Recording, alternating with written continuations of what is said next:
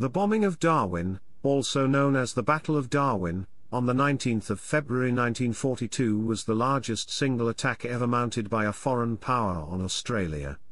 On that day, 242 Japanese aircraft, in two separate raids, attacked the town, ships in Darwin's harbour and the town's two airfields in an attempt to prevent the Allies from using them as bases to contest the invasion of Timor and Java during World War II. Darwin was lightly defended relative to the size of the attack, and the Japanese inflicted heavy losses upon Allied forces at little cost to themselves. The urban areas of Darwin also suffered some damage from the raids and there were a number of civilian casualties. More than half of Darwin's civilian population left the area permanently, before or immediately after the attack. The two Japanese air raids were the first, and largest, of more than 100 air raids against Australia during 1942-43.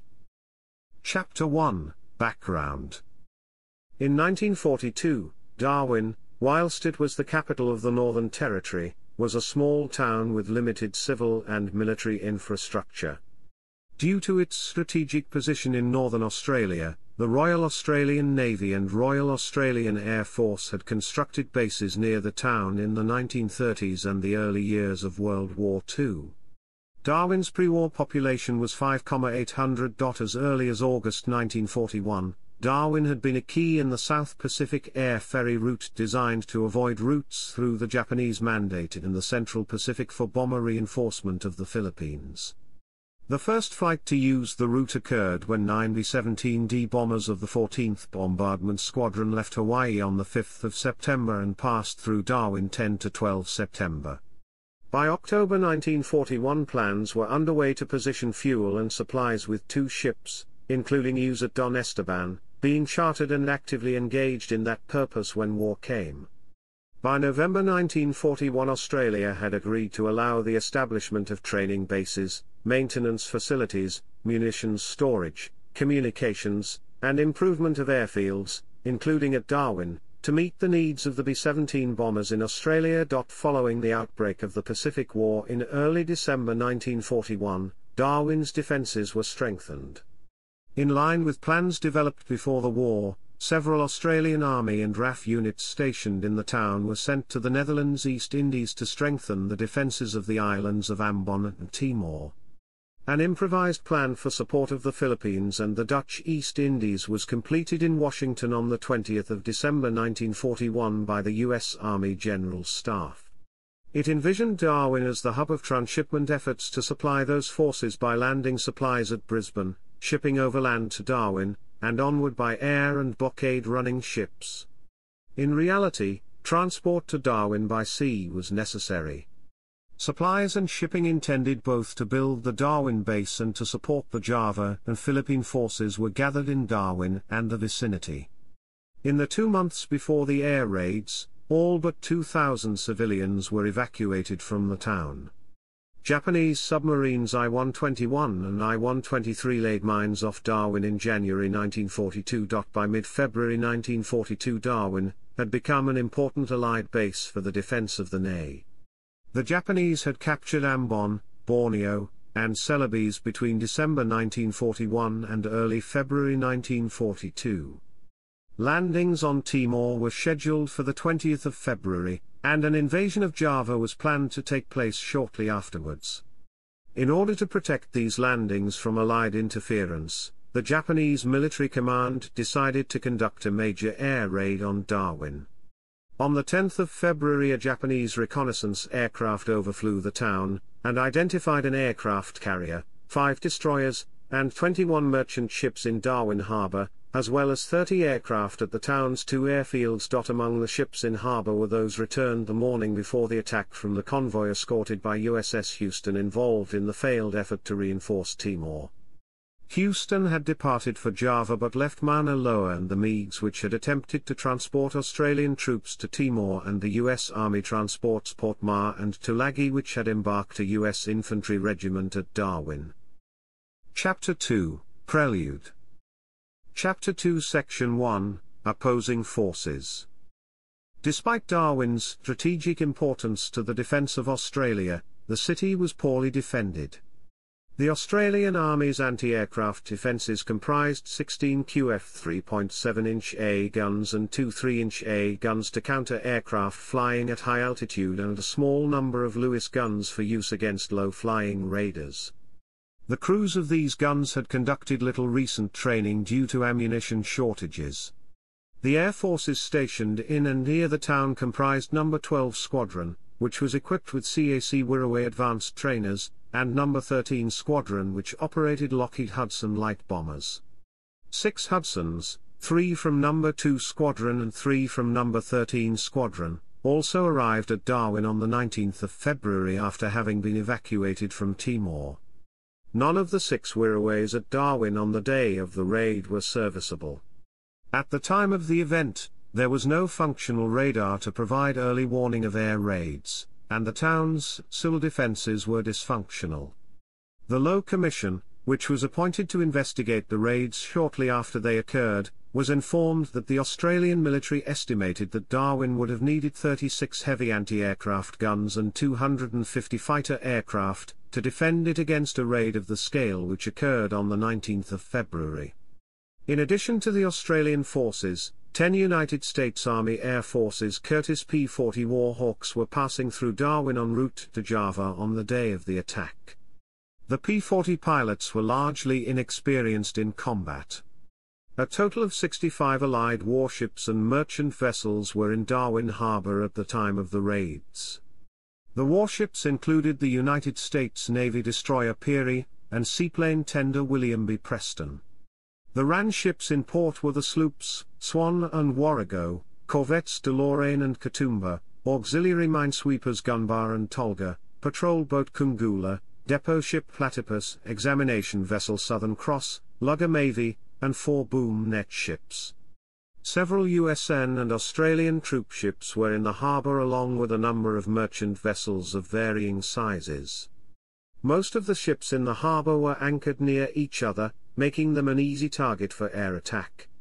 Moreover, no plans had been prepared for how the ships should respond to an air raid. In addition to the vessels in port, the American Army supply ships Don Isidro and Florence D., former Philippine vessels acquired as part of the Southwest Pacific Area Command's permanent Army fleet earlier in February, were near Bathurst Island bound for the Philippines with arms and supplies on the morning of the raid. Darwin, was attacked by aircraft flying from aircraft carriers and land bases in the NE. The main force involved in the raid was the 1st Carrier Air Fleet which was commanded by Vice Admiral Chuichi Nagumo. This force comprised the aircraft carriers Akagi, Kaga, Hiryu, and Soryu and a powerful force of escorting surface ships. All four carriers had participated in the attack on Pearl Harbor at the start of the Pacific War. In addition to the carrier-based aircraft, 54 land-based bombers also struck Darwin in a high-level bombing raid nearly two hours after the first one struck at 0956. These comprised 27 G3M Nell bombers flying from Ambon, and another 27 G4M Betty bombers operating from Kendari in Celebes. Chapter 3, Air Raids Chapter 3 Section 1, First Raid the four Japanese aircraft carriers launched 188 aircraft on the morning of the 19th of February. The main objective of their crews was attacking ships and port facilities in Darwin Harbor. Their aircraft comprised 81 Nakajima B-5N light bombers, 71 Aichi dive bombers, and an escort of 36 Mitsubishi A-6M fighters. While the B-5N was a purpose-built torpedo bomber, it could instead carry up to 800 kilograms of bombs and there is no evidence of torpedoes being used on this occasion, the D3A could carry up to 514 kilograms of bombs. All of these aircraft were launched by 8.45 am. This wave was led by Commander Mitsuo Fuchida, who had also commanded the first wave of attackers during the raid on Pearl Harbor. On their way to Darwin, Zeros shot down a U.S. Navy PBY Catalina, and strafed a USAAF C-47 Skytrain on the ground, near Melville Island. At 9.35 am Father McGrath of the Sacred Heart Mission on Bathurst Island, who was also an Australian coast watcher, sent a message using a pedal radio to the Amalgamated Wireless Postal Radio Station at Darwin that a large number of aircraft were flying overhead and proceeding southward. The message was then relayed to the Royal Australian Air Force operations at 9:37 am. No general alarm was given until about 10 am as the RAF officers there wrongly judged that the aircraft which had been sighted were the 10 USAAF P-40s, which were returning to Darwin at the time after reports of bad weather forced them to abort a flight to Java via Kupang, West Timor. As a result, the air raid sirens at Darwin were not sounded before the raid. Flying escort in a Zero fighter, Petty Officer Yoshikazu Nagahama, was separated from his squadron while he was attacking the PBY flying boat and arrived over the city alone ahead of the strike force, which was making a turn to attack from the south. He engaged five U.S. Army Air Force P-40 Warhawk fighters and single-handedly shot down four of them. The Japanese raiders began to arrive over Darwin at 9.58 am. HMAS Gunbar was the first ship to be attacked, being strafed by several Zero fighters. At about this time, the town's air raid sirens were belatedly sounded. The Japanese bombers then conducted dive bombing and level bombing attacks on the ships in Darwin Harbor. These attacks lasted for 30 minutes, and resulted in the sinking of three warships and six merchant vessels, and damage to another 10 ships. The ships sunk were the USS Peary, HMAS Mavie, USAT Meigs, MV Neptuna, Zealandia, SS Mauna Loa, MV British Motorist. The oil tanker Karalee, and the coal storage hulk, Kelat sank later. At least, 21 laborers working on the wharf were killed when it was bombed. All but one of the P-40s of Major Floyd Pell's 33rd Pursuit Squadron, was shot down or destroyed on the ground at RAF Darwin by the Japanese. Japanese aircraft bombed and strafed the base and civil airfield, as well as the town's army barracks and oil store. All of these facilities were seriously damaged. The bombers began to leave the Darwin area at about 1010. On their way back to the carriers, their crews noted two Philippine registered freighters lying just outside the port Florence D and Don Isidro. This information contributed to planning for the second raid that afternoon. Japanese losses may have been as few as five aircraft and three crew. However, another 34 Japanese aircraft landed safely with battle damage.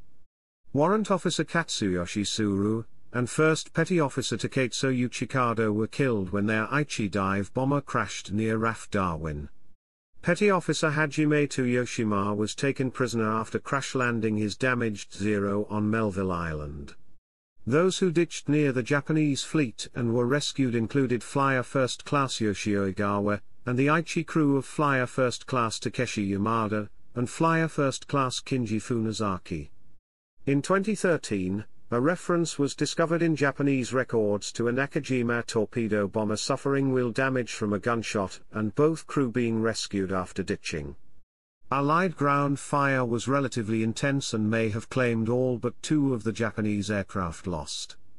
Only one of the USAAF P-40 pilots remained airborne throughout the first attack, First Lieutenant Robert Oestreicher, who has also been credited by US and Japanese sources with one Aichi shot down and one damaged. Toyoshima's Zero is considered to have been brought down by small arms fire from sappers Tom Lamb and Len O'Shea of the 19th Battalion. Most aviation historians believe Tsuru and Uchikado's Aichi was brought down by ground fire, possibly from a major Australian army camp at Winnellie. Igawa reported that the damage to his Zero came from hitting a tree at Darwin. Chapter 3 Section 2, Second Raid The second wave, made up of 54 land-based medium bombers arrived over Darwin just before midday. The town's air raid sirens were sounded at 11.58 am, when the bombers were sighted. The Japanese force separated into two groups flying at 18,000 feet. One of these formations attacked RAF Base Darwin from the southwest while the other approached from the northeast. The two formations arrived over the base at the same time, and dropped their bombs simultaneously. The Japanese bombers then turned, and made a second attack on the base. Due to defective fuses, the Australian heavy anti-aircraft flak gunners were unable to shoot down or damage any of the high-flying Japanese aircraft. The bombers left the Darwin area at about 12.20 pm. This raid inflicted extensive damage on the RAF base, though casualties were light. Of the RAF aircraft at the base, six Hudson light bombers were destroyed and another Hudson, and a Wirraway were badly damaged. Two American P-40s and a B-24 Liberator bomber were also destroyed. Six RAF personnel were killed. Lewis and Ingman list 30 aircraft destroyed. The Japanese carrier force launched a small number of DA dive bombers during the afternoon of the 19th of February to attack the Florence D and Don Isidro. Don Isidro was the first of these two ships to be attacked, and was rapidly sunk 40 kilometers north of Melville Island. Eleven of her 84-strong crew were killed. The dive bombers also attacked Florence D and sank her off Bathurst Island with the loss of four crewmen. All of the survivors from Don Isidro were rescued by the corvette HMAS Warrnambool on the 20th of February. Some of Florence D's survivors landed on Bathurst and Melville Islands while the remainder were rescued by Warrnambool on the 23rd of February. Among the survivors of Florence D were the rescued crew of a U.S. Navy PBY piloted by then Lieutenant Thomas H. Moorer. Admiral Halstead, strafed and with plates damaged by near misses, was brought to the pier where U.S. Army volunteers along with survivors of the U.S. and Philippine vessels helped unload her 14,000 Drums of Aviation Gasoline. Chapter 4 Aftermath. Chapter 4 Section 1 Consequences. Of major military consequence was the loss of most of the cargo shipping available to support efforts in Java and the Philippines with Java being effectively sealed off from further surface shipments from Australia. The air raids caused chaos in Darwin, with most essential services including water and electricity being badly damaged or destroyed. Fears of an imminent invasion spread and there was a wave of refugees, as some of the town's civilian population fled inland. There were reports of looting, with provost marshals being among the accused. According to official figures, 278 personnel belonging to RAF Northwestern Area Command were considered to have deserted as a result of the raids, although it has been argued that the desertions were mostly the result of ambiguous orders given to RAF ground staff after the attacks. In the words of journalist Douglas Lockwood, after the second Japanese air raid, the commander of RAF Darwin, Wing Commander Stuart Griffith, summoned his senior administrative officer, Squadron Leader Swan, and gave a verbal order that all airmen were to move half a mile down the main road and then half a mile inland. At this vague rendezvous point, arrangements would be made to feed them. The order led to utter chaos. In being passed by word of mouth from one section to another, sometimes with officers present and sometimes not, it became garbled to the extent it was unrecognizable against the original. In its ultimate form it was interpreted, especially by those desiring such an interpretation, of an impending order for immediate and general evacuation of the area. Highly exaggerated rumors of an impending Japanese invasion had already reached the base from the town and spread quickly among those wanting to believe them. In the absence of restraint, men gathered their belongings and abandoned their stations. While the NWA staff could see what was happening and issued countermanding orders the damage was done and hundreds of men were already beyond recall. The Australian Army also faced difficulty controlling some of its own troops from looting private property, including furniture, refrigerators, stoves, pianos, clothes even children's toys due to the breakdown of law and order after the bombing and the ensuing chaos. Many civilian refugees never returned, or did not return for many years, and in the post-war years some land they owned in Darwin had been expropriated by government bodies in their absence, made legal by the Darwin Lands Acquisition Act 1945. The bombing of Darwin resulted in the destruction of seven of the 11 above-ground storage tanks, located on Stokes Hill, in raids on 19 February 16 March and 16 June 1942. This led to the construction of underground oil storage tunnels in Darwin in 1943. Chapter 5 Casualties and Damage The number of people killed during the 19th of February raids is disputed. The Lowe Commission, which investigated them in March 1942, estimated 243 victims but, assuming a few were unidentified, concluded I am satisfied that the number is approximately 250 and I doubt whether any further investigation will result in ascertaining a more precise figure. Some researchers and government officials, including John Bradford, Dr. Peter Stanley, Tom Womack, Paul Rosenzweig, and Rear Admiral Kevin Scarce have said there were 250 to 262 fatalities. However, a plaque unveiled in Darwin in 2001 gave the total as 292. The plaque indicated 10 sailors had been killed aboard the USS William B. Preston but the US Navy said there were 13 fatalities and Peter Grose, author of An Awkward Truth, said 15, he wrote, with the William B. Preston total corrected to 15, a figure of 297 known dead is the best count anyone is likely to achieve, the full death toll is likely to be a little over 300, perhaps as many as 310 or 320. Lewis and Ingman have revised that to 14 in their 2013 book Carrier Attack.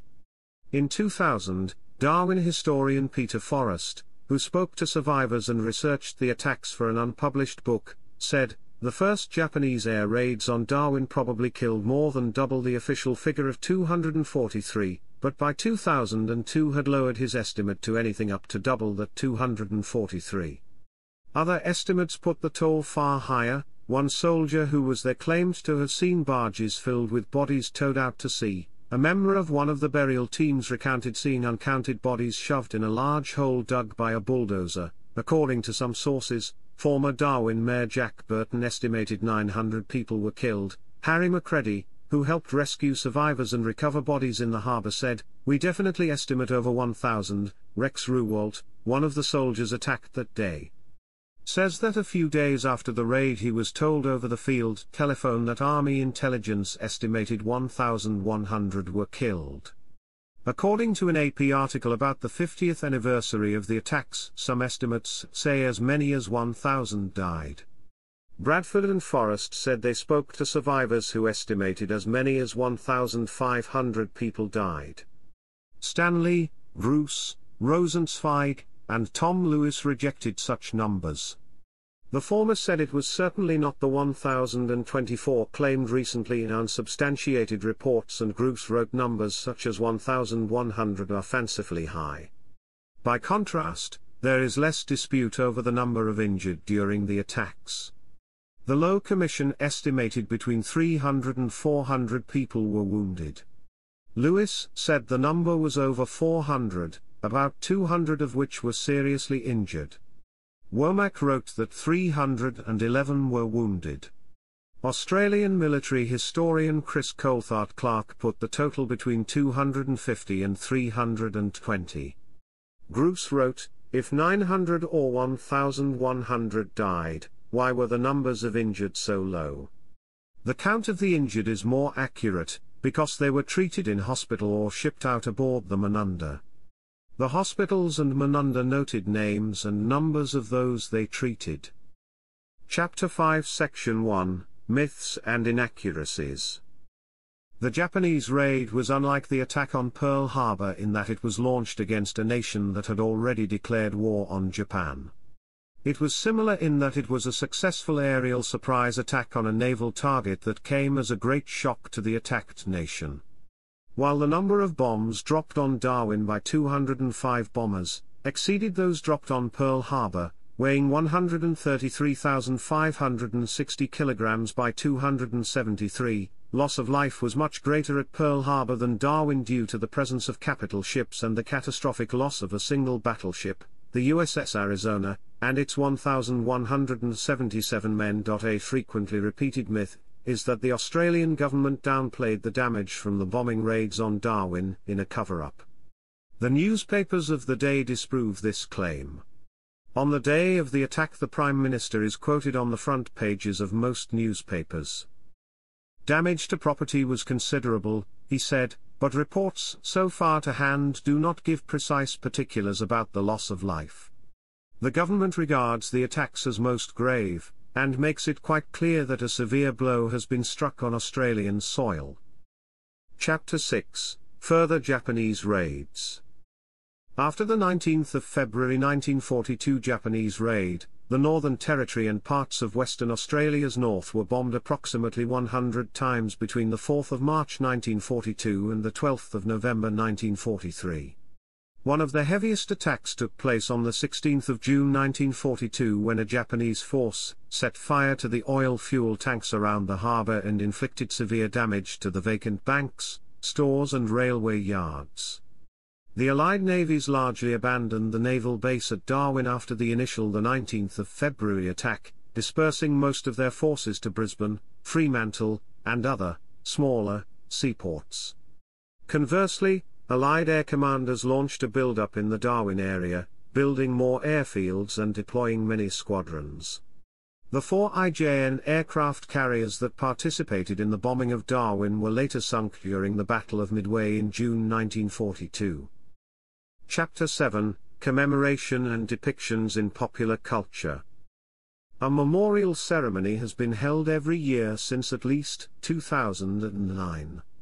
On the 19th of February at the Cenotaph in Darwin, at 9.58 am, a World War II air raid siren sounds to mark the precise time of the first attack. A fictionalized version of the raid features prominently in the 2008 film Australia. Chapter 7 Section 1 Sources Hata, Ikuhiko, Izawa, Yasuho, Shores, Christopher. Japanese Naval Air Force Fighter Units and Their Aces, 1932 to 1945. London, UK, Grub Street.